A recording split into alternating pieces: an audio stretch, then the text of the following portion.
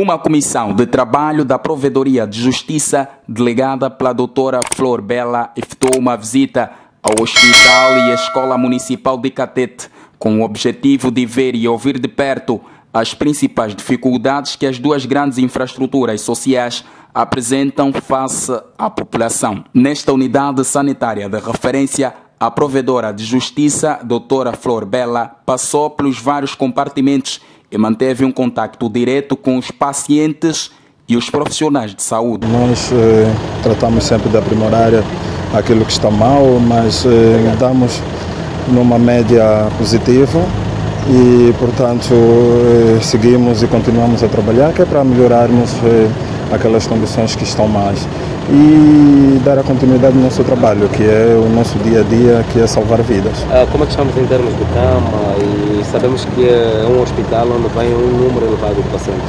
Sim, eh, sendo este hospital desenhado como um hospital primário, nós temos número de leitos de 100 camas e que realmente eh, dá-nos eh, resposta aos nossos pacientes internados. O número elevado de pacientes não tem sido pacientes internados, mas sim tem sido pacientes que vêm na consulta externa ou consultas de rotina.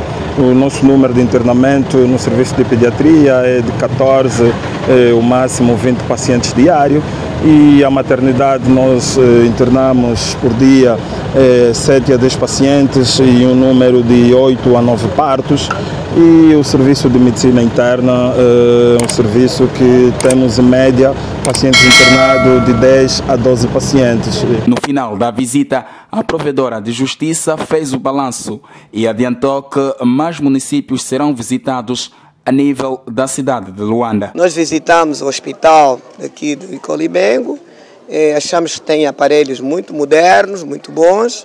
Eh, a necessidade é de reabilitar as instalações, principalmente as zonas, eh, as zonas do laboratório e do coração.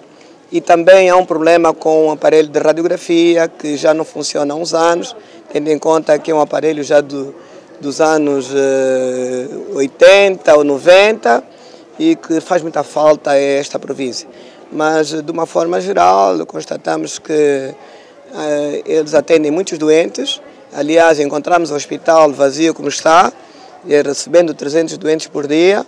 Acho que é algo que nós em Luanda não conseguimos ver. Também há alguns problemas com alimentação e nós vamos a, a transmitir às autoridades competentes para ver se fazem um reforço do orçamento, tendo em conta que a maior parte dos doentes não tem familiares e constou-nos que eles nem sempre têm refeição. Estamos aqui agora na escola, eh, neste complexo, e como vê, portanto, eh, este, este complexo precisa de ser reabilitado eh, pelas condições que tem. É necessário que a administração municipal, o Ministério da Educação, o governador eh, se empenha em darem, portanto, melhores condições a esta escola, reabilitá-la, pintá-la, eh, porque as crianças estiverem num local, portanto, onde tudo está organizado, com as melhores condições, também sentem um brilho. Depois do município de Colibengo, vamos para, para a ilha de Luanda. O município de Luanda é muito grande, e nós eh, vamos visitando alguns municípios, mas ainda alguns eh, distritos que precisam de